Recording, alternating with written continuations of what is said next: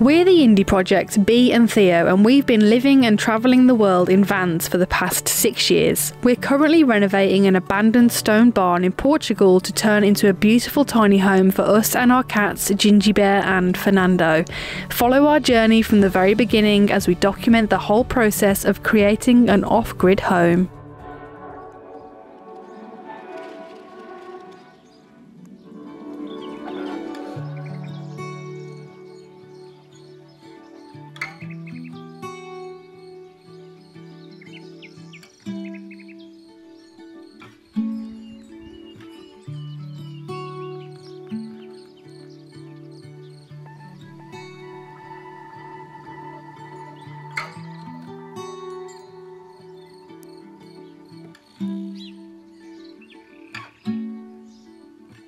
Good morning, welcome back to a new video.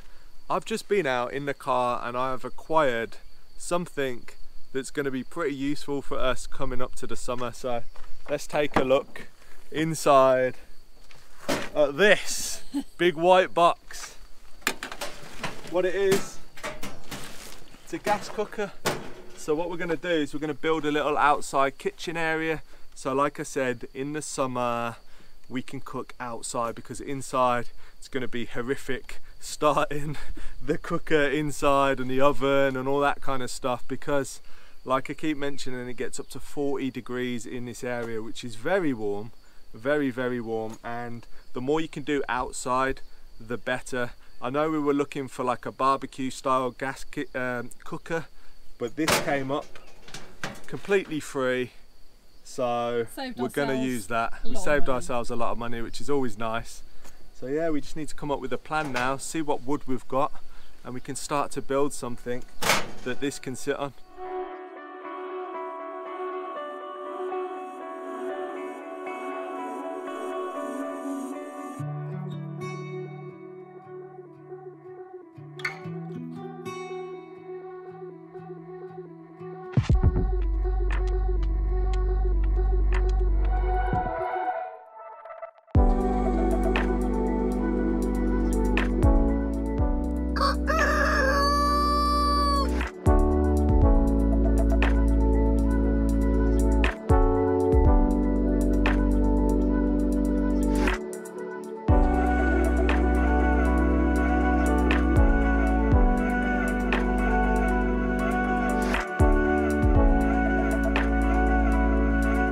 like to say a huge thank you to Squarespace who have kindly sponsored today's video.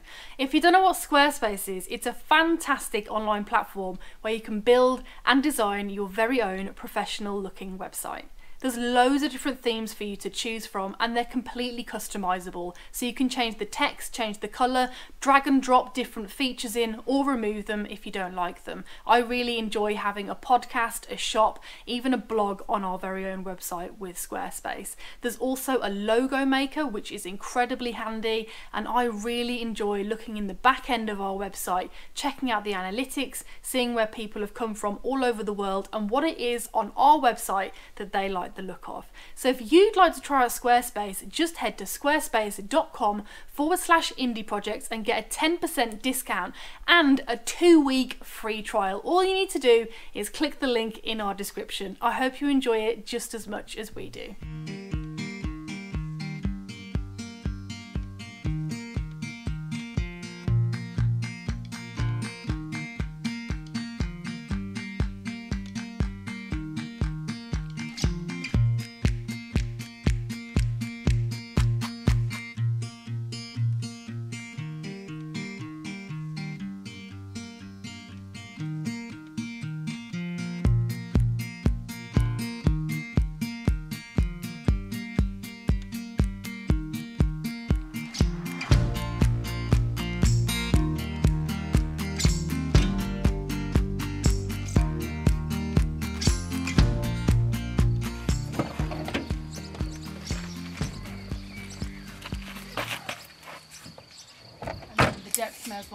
Same as this, which is 60.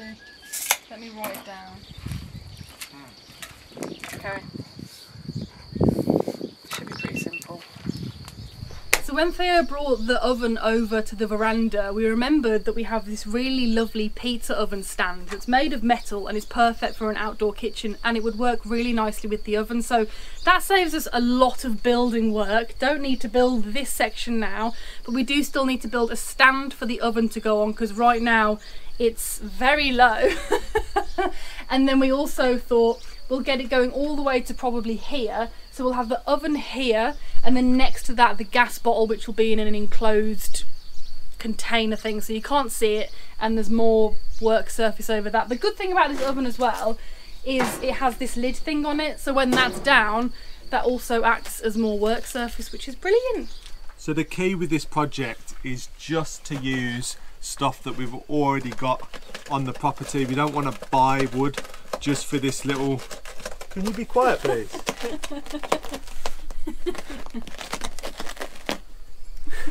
we don't want to use any shop bought wood like we just want stuff that we got lying around left over from other projects because it's not worth it for this temporary measure.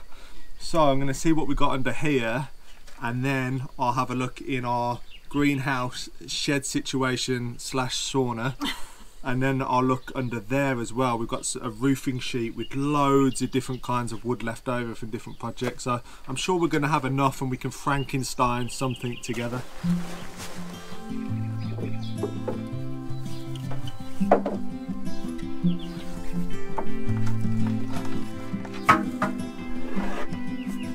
Is that chestnut that?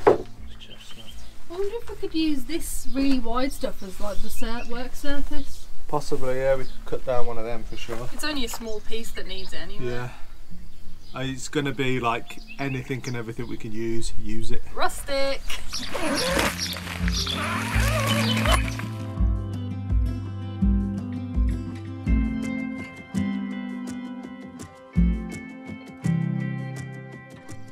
Theo and Ricky have just had to head out because I had a phone call from a delivery driver saying that he had our chipper and he couldn't get to our place so Theo had to go out and meet him. So that's really exciting. They've gone off to get it.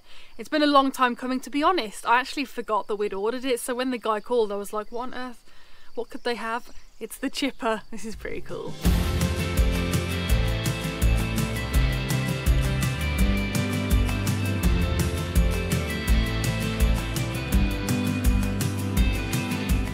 look what has just arrived our new chipper which it's a bit frustrating because it kind of came at the wrong time because we just burnt everything. Because we did reach out to the company and they said it wouldn't be arriving for weeks. And we ordered it probably three weeks ago. So it's taken a long time to get here but suddenly the delivery driver was just here and he couldn't get to our property in a massive like lorry basically so thanks to the truck, we were able to drop it down off the back of the lorry, straight into the back of the truck. And it's on a pallet. It's an absolute beast of a chipper. It's very exciting. We just don't need to use it right now. So it's gonna stay in that condition for a little while until we need to use it.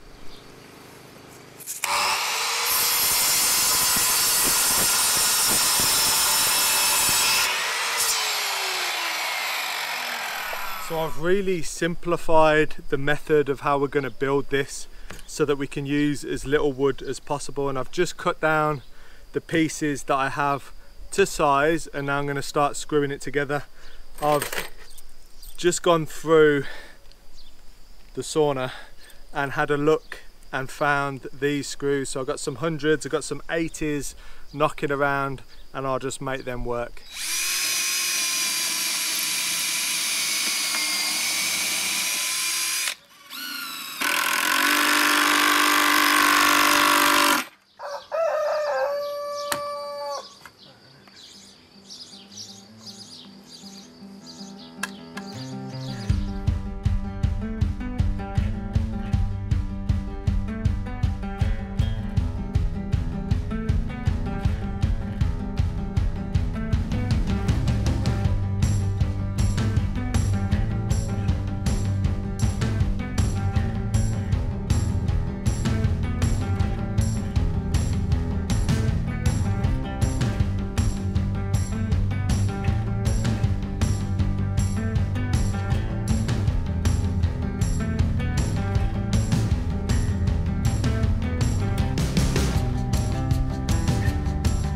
So I have just set up the oven on the plinth that I've just made and it's absolutely rock solid.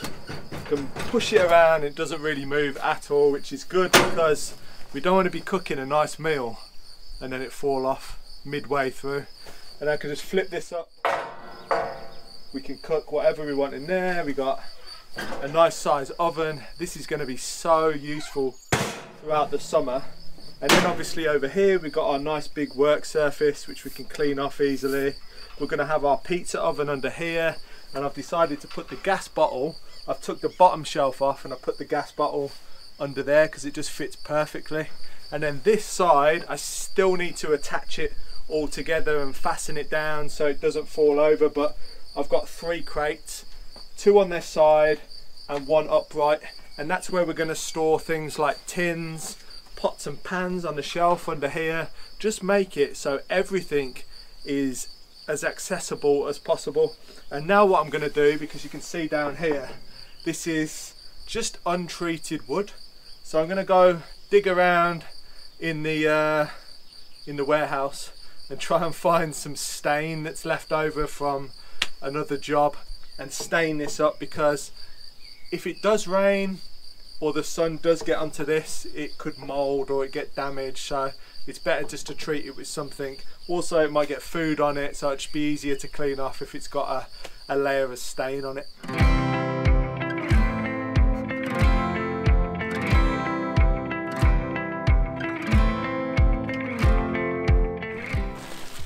So I managed to find some stain left over that we used on the veranda for the chestnut and then a brand new rusted paintbrush. We store loads of these on the property just because you never know when you're going to need to use them so now I'm just going to give it one coat will do fine. This stuff's really good and uh, it should look really nice as well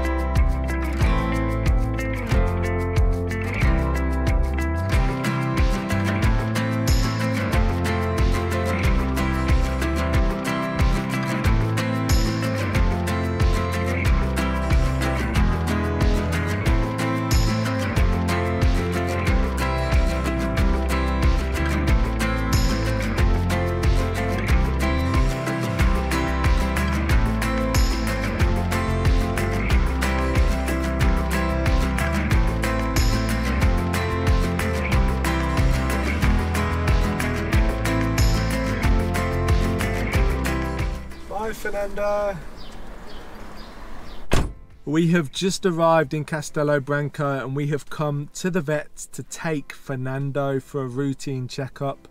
He's really not good in cars so every time we have to bring him to the vet it's a big ordeal and he's only come for a routine checkup but every time we take him to the vet or we put him in the car within five minutes he goes to the toilet so we have to pull over clean him clean the basket that he's in.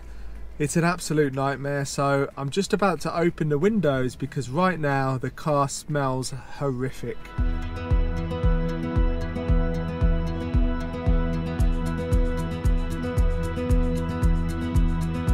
Yesterday's checkup at the vet for Fernando went very well. He's totally fine. We also had his bloods done, which I think is a first for him, and he didn't really enjoy that, but actually, to be honest, he doesn't enjoy going to the vets at all. It's usually quite a stressful experience for him. So I like to do it as little as possible, but these things can't be avoided. Got to make sure that he is fit and healthy because he does get into scraps every now and then and I want to make sure that he is okay. Thankfully he is and he's back out roaming like nothing happened. I'm just heading down to the goats to let them out. They absolutely love their new time browsing outside. I think their favourite thing has got to be vine leaves, which is great because we do have quite a few wild vines on the property. So if they can eat those leaves, it means that hopefully they'll just die off because they just they just grow back. Theo, I was going to say mows. Theo goes over them every year with the tractor and they just come back like nothing's ever happened.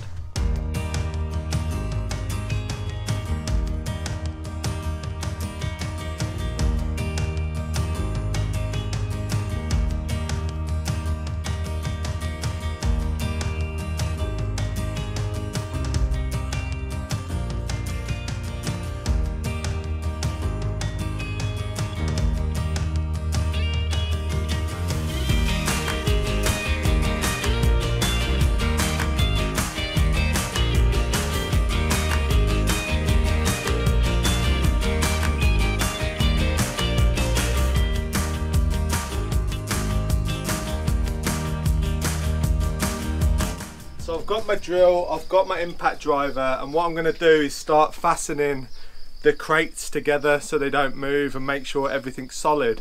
And if you come down here, the stained plinth for the cooker looks so much better now it's stained. It just ties it all into the crates it and the black. The crates really well. It does. It's starting to look a little bit less like it's not meant to be there, if that makes sense. Yeah. But I, we're pretty much ready to cook, to be honest. I just need to fasten the gas together and make sure that's all working. Light it, and you can start Foraging. putting the pots and pans, foraging our dinner or our lunch. Actually, we can cook some lunch on it. Good idea. That'd be really nice. And we can fill up these side crates with tins and stuff that we use all the time that we can have just on hand, pots and pans, that kind of thing.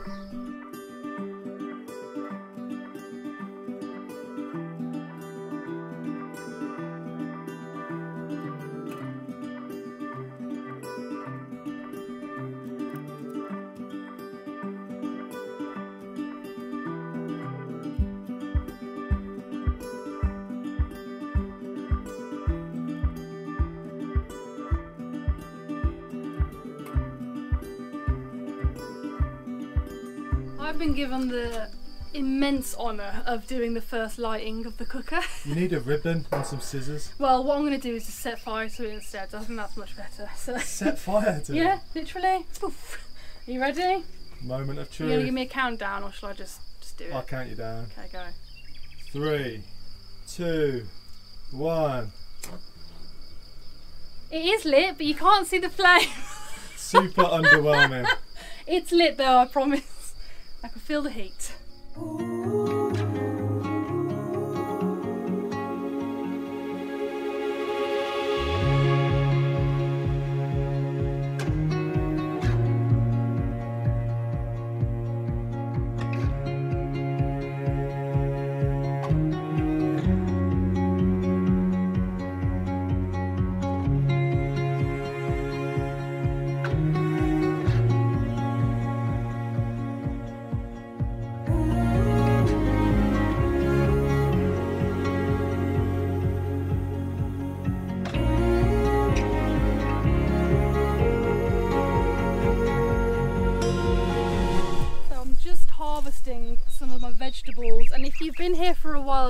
Me plant all of these back in I think October it was. So I've got broccoli which is still growing really nicely.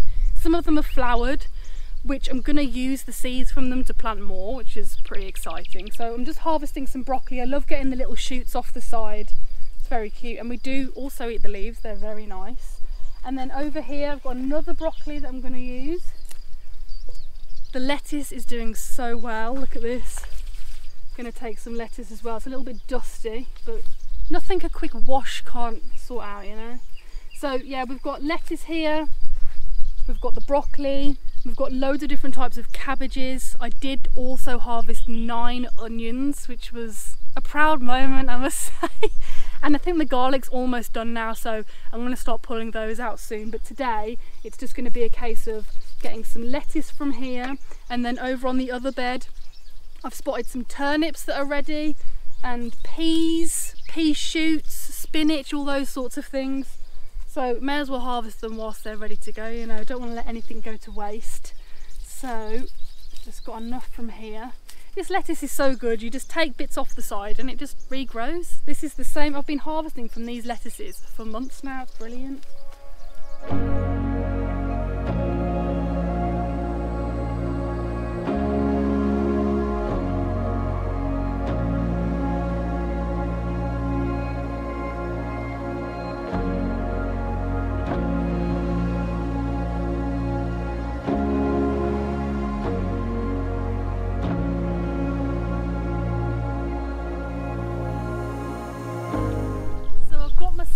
Some peas. Well, actually, there's a load of different things here. I've got onions, peas, turnips, spinach, cauliflower. Those are the ones I can remember. And I'm going to today take some peas, pea shoots, turnips, and any spinach if there's some left because I did do a bit of a savage harvest on it the other day. But these peas are just thriving and you can eat the leaves, you can eat the, you can eat pretty much all parts of the pea plant and the leaves taste like peas. It's really nice. So I'm just gonna snip off some juicy looking bits. And I did also spot quite a few pods earlier down here. And they're so delicious. Look at this. I love them.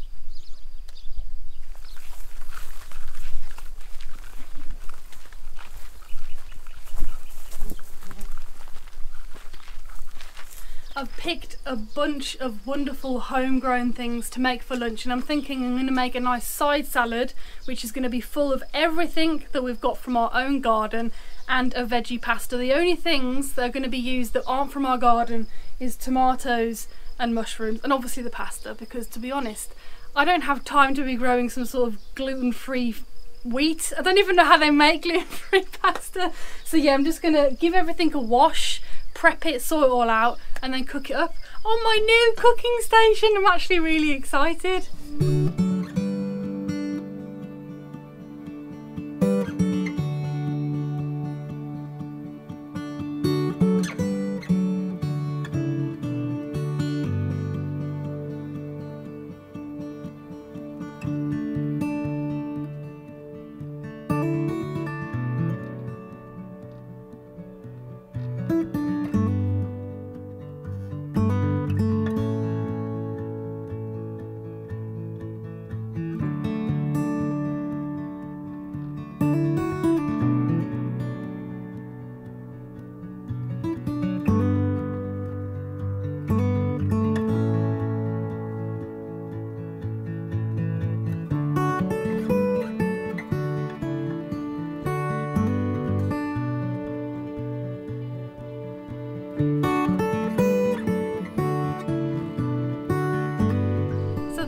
Pasta is done. It was a nice experience cooking out here, I've got to say. It being, smells nice. Thank you. Hopefully it tastes just as good. But being out here really did make me think that in the summer as it starts to heat up, I mean it's already starting to heat up. I looked on the weather forecast and it's saying 29 degrees Celsius next week, which is warm. So being outside and doing that here is much better because you just don't want to create heat indoors when it's hot outside. It's just so pointless. So this is a really nice setup.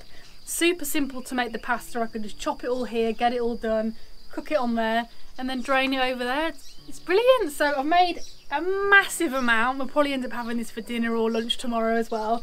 And then we've got a salad on the side.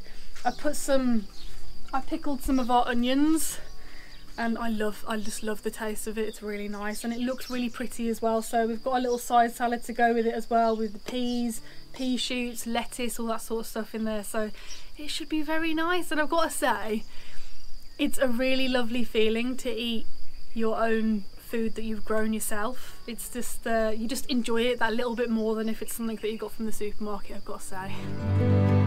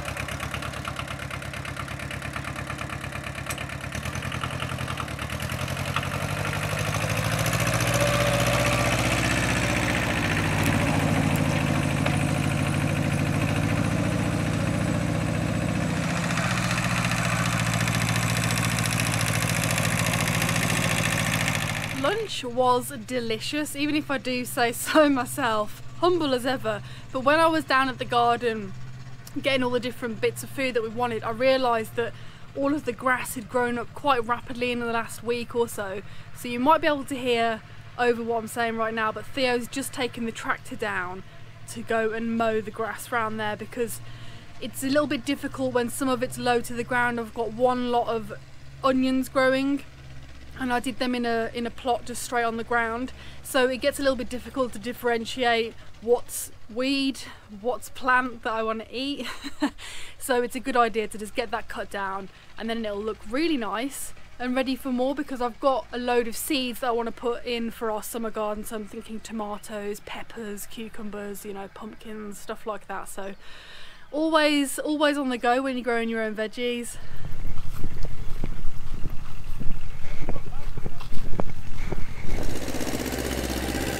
So this is the bed I was talking about.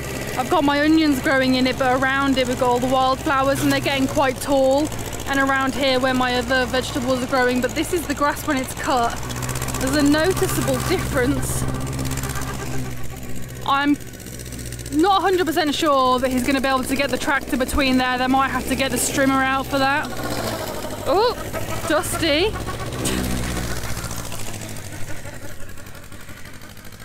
But it's good to see. And Theo loves it. Any excuse to be on the tractor, I